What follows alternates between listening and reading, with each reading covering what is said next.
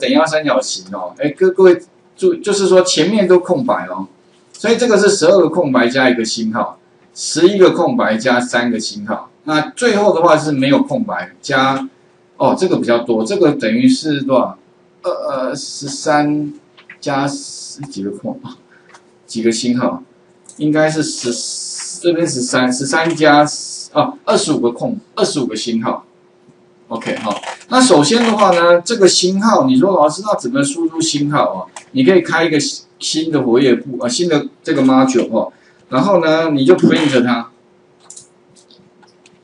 ，print 之后的话，后面哦，你说老师那我要一颗星，一颗星不就是一个星？对，这样的一颗星，你 print 这一定是一颗星嘛啊？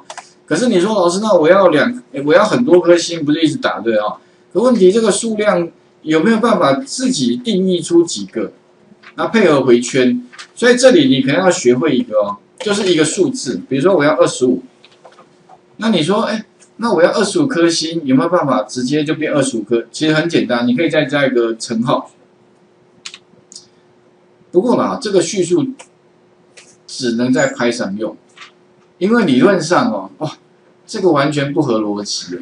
为什么？因为我前面不是讲。这个是文字哎，这个乘号是针对数字的啊，这样怎么可以？不过拍上是把它当成是一个 repeat 的动作，重复几次的意思。OK，所以这个蛮巧妙，执行看看有没有？这边就二十五颗星出现了。啊，如果你要空白的话，哎，所以哦，如果假设我们刚刚那个是这个题目有没有？这边是十二个空白加上一颗星的话。那我们可以怎么做？哎，十二个空，十二个空白，十二乘上空白，好，然后再加上有没有一颗星？一颗星，哇，一颗星这样，OK 哈，执行，哎，有了，有没有？十二个空白加一颗星。那下一个，你说老师，那下一个我要做什么？下一个哈，当然如果你你不会的话，你就是后面是十一个空白加三颗星。三哎，那这边聪明一点啊，乘三好哦，哎，表示我我们懂这意思哦，等于是这边是十一个，这边三个，执行一下，也有了有没有？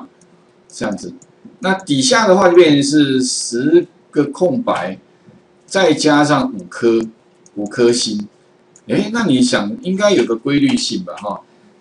这个呃空白数量呢会越来越少递减的，那星号的话是越来越多，可是它的数量。它不是加一，它是加多少？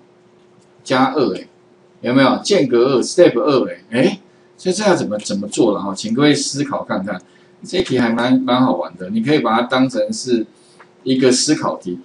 那当然你不要想说一次哦，你就要直接就写出那个很精简、很漂亮的程式，不用哦。你刚开始一定不可能这么厉害的。如果你这么厉害，那你就天才了，哇！那你真的很适合写程式。OK，如果不是的哈，没有关系，我是觉得写的出来就厉害了啊，试试看哦。所以这个这个部分呢，给各位当一个思考题啊。那接下来的话呢，我们就直接来看哦。我我们上个礼拜主要是 for 回圈嘛哈，那今天的话就是把 for 回圈 ending 掉了哦，我们就要来看 while 回圈。哎，那 while 回圈我前面讲过哦。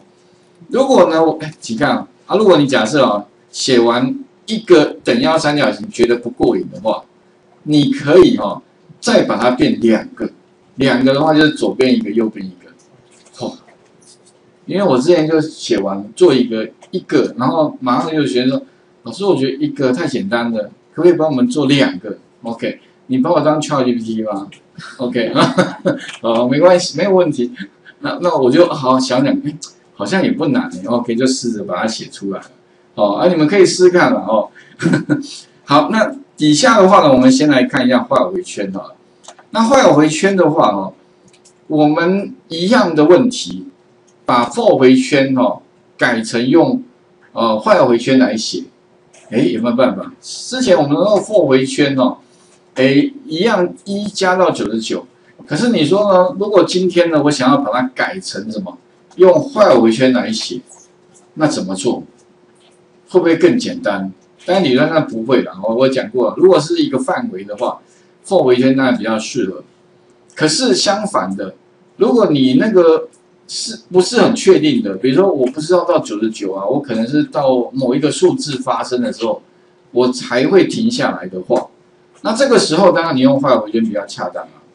OK，就像底下有个猜数字游戏，我们等一下要写一个猜数字游戏啊，比如假设啦，不要猜太多啦，一到二十随便猜一个啊，啊，他要乱数去抓一个数字，猜对的话呢，那表示你就。OK，可是问题你要在对最短时间内，还有最少次数内算是最厉害。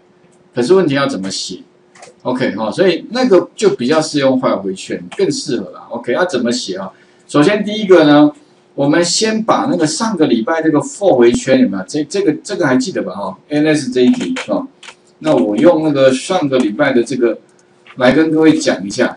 那如果假设我希望呢，把 for 回圈哈直接改成 while 回圈的话，那有哪些地方应该要做变更？第一个的话哦，这个地方的话呢，我们就不是用 for，而是用 while。OK，那其实这里面呢，while 回圈跟 for 回圈主要有三个地方不一样。哪三个地方不一样呢？记得哈，刚好就跟 range 这个很有关系。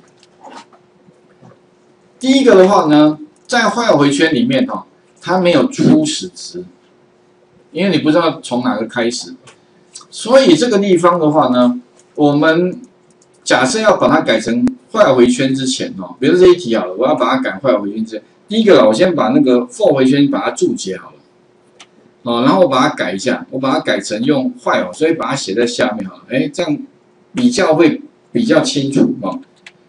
好，坏哦。那后面的话呢，我们就加上什么？加上一个条件哦。诶，什么条件？那特别注意哦，for 回圈跟坏回圈有三个地方不一样。第一个初值，初值的部分哦，这个可能要自己定义一下哦。之前 for 回圈是直接的嘛，直接就给你一个初值。但是呢，坏回圈哦，你这个 i 的部分呢，你要自己先产生哦。OK，然后呢，你这个 i 有没有变成你要另外独立出来？那条件的部分是什么？当什么条件发生的时候，它要得加下面的，嗯，当所以哦，后后面的话是一个条件，什么条件呢？哦，当 i 的值哦，假如它是小于一百的时候，呃，才做下面的以加动作。好，那还有记得哦，这个是第一个，它的初值哦，所以你会发现这个这个 i 的值必须要赋予一个初值。二的话是一个条件，还有第三个，如果第三个忘了加的话哦，那这个执行的话就变无穷回圈了。为什么？因为 i 永远是零，所以哦，特别是还有第三个，就是间隔多少，这边不是会自己间隔一，所以凤回圈里面会自己帮你加一，有没有？可是呢，在坏回圈里面没有，这边你要自己加一个 i 等于 i 加一。也就是说呢，你没有去把它加一，它就永远等于零。哎，所以哎不不不，更正一下，这个初值应该等于一才对啊，因为等于零的话那不对，因为啊，所以你会发现哦，如果这样比较应该就很清楚了。其实画围圈基本上就是把 range 里面的这三个词有没有拆在不同的地方，有没有？那 for 围圈呢，就一个就帮你全部做完了。所以啦，如果你假设是一个有范围而且明确的哈，那当然用 for 回圈绝对是优于用画回圈，不然的话画回圈超麻烦的，有没有？哇，光这三个，而且漏一个都不行哦。哦，哎，所以第这样有概念了吧？哈，所以基本上呢，前面写过的 for 回圈就通通可以改成坏回圈，所以一样的哦。如果假设我们你考各位一下，哎，那如果我想要把什么？把刚刚的这个九九乘法表，请帮我改一个画回圈版本的话，哎，那怎么做？那首先的话了哈，因为它有两个回圈，对不对？那你不用急着一次就把两个改，你改一个一个改，对，先改一个。比如说，哎，第一步啊，第一个 step，我先改那个什么，改追好了，OK 啊，追。比如说这边的话，enter 嘛哈，然后我就在下方先打一个坏哦。那这个条件的话呢，一定是什么？画有，哎，或者你这边其实可以再逗点一哈。你如果假设啊，因为反正我们刚刚改是三个嘛，刚好就 range 后面三个一二三嘛，所以这个地方的话，你就是坏了，这个是 J 嘛哈，J 它如果当它小于十的时候，冒号有没有？OK，所以第一个是这个先做了，有没有？那第二个的话呢，就是它的初值，初值的话呢，就是在画友上面加一个 J 等于一，有没有？这个地方把它拉过来，然后这个的话就累累进的，就是说呢，必须要把 J 每跑一次之后把它加一，有没有？间隔多少哦？所以这边的话加一个 J 等于 J 加一就可以了。OK，好，那如果改完之后哦，你这一行一样哦，我不建议你直接把它删掉，我是建议你可以把它注解一下，哇，这样应该就改完了啦。我我再给各位看一下，基本上哈。就是我刚刚本来 range 部分，我先就补这个了哦。为什么？因为补这个你比较清楚。一一的话，先从这边开始啊。一哈，直接这个 while j 是小于十才做下面的事。OK，下面的动作。二的话呢，就是在这个地方补一个 j 的初始值。哦，三的话呢，就是它的步进值等于间隔多少。哦啊，这个累加自己要加一下，这个是三，好，那这样理论上改完了，哎，马上我们就产生了一个这个什么呢？坏有版本的九九八表。但是啦，当然如果你这样改，你一定觉得老师这个以后我不这样，我一定用 for 回旋，为什么 for 回旋比较简单嘛？哦，OK，执行看看，应该理论上是 OK 的，哎，有没有？这个应该没问题的啊。那一样的道理哦，如果假设这个地方要改成。这个哦，所以一样哦，这边把它先注解一下，然后我就把它改成坏坏哦，这边的话就是呃，i 小于十嘛哈，冒号，然后在它上面加一个它的初值，i 等于一，有没有？然后在这个最下方的地方就是加那个 i 等于 i 加一，这样就 OK 了啊，所以。